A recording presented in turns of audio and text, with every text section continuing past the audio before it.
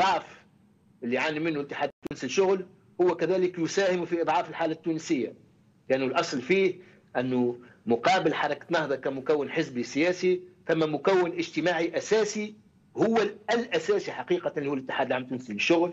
ولكنه المعاناة اللي يعاني منها الاتحاد العام التونسي للشغل أكبر من المعاناة التي تعاني منها حركة النهضه ولو يستعيد الاتحاد العام التونسي للشغل آه، عافيته لكان طريقنا لاستعادة الحرية والديمقراطية اقصر.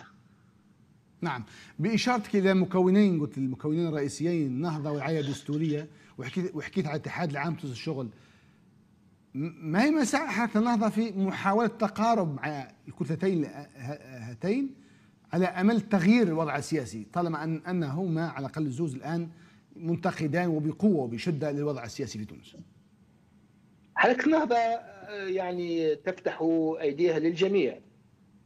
وواضح أن اليوم التقاء حركة النهضة مع العائلة الدستورية أوسع من التقاء كمكون حزبي وسياسي. نعم. آه، أوسع من آه، من التقائها مع مكونات الاتحاد العام التونسي للشغل بالنظر إلى أن آه، جزء من المركزية النقابية ينتمي إلى المكونات السياسية الاستقصاليه للأسف. في تونس. ف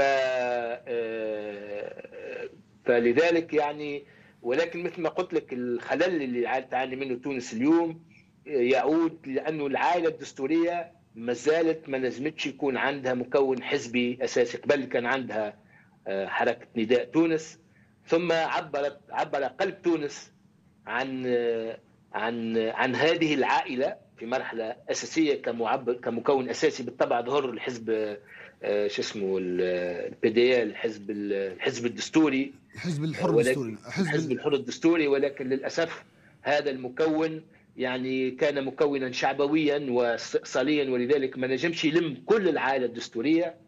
و آه، يعني الدكتور مبرز نادي هو مرشح رئاسي ألا تقدر تقدروش أنه قادر يمثل عنوان جامع للدساتره؟ هذا أمر لا أستطيع أن أتحدث عنه، هذا شأن العائله الدستورية. آه، ونحن كحركة كحزب سياسي معنيين اولا أن يكون عندنا خط سياسي وطني. نحن الآن نشتغل في إطار جبهة الخلاص ونعتبر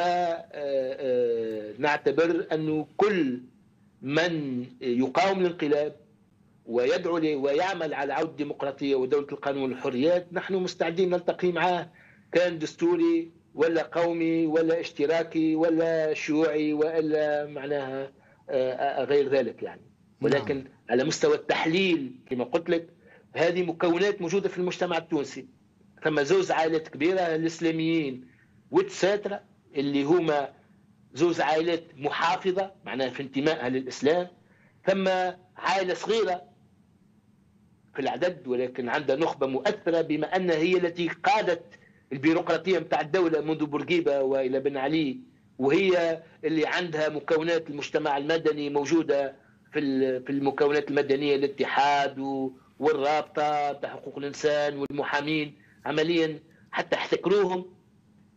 فهذه العائله الثالثة ونقدر أن الالتقاء بين العائلات الثلاثة هذه هو ضامن لانتقال تونس من مرحلة الاستبداد إلى مرحلة الانقلاب وأن وجود تعاقد نعم. بين العائلات الثلاثة. هذه تعاقد سياسي هو اللي يضمن لنا قدرتنا على تكوين ديمقراطيه أقوى من الديمقراطية اللي آه، أسسناها خلال عشر سنوات نتاع الانتقال الديمقراطي.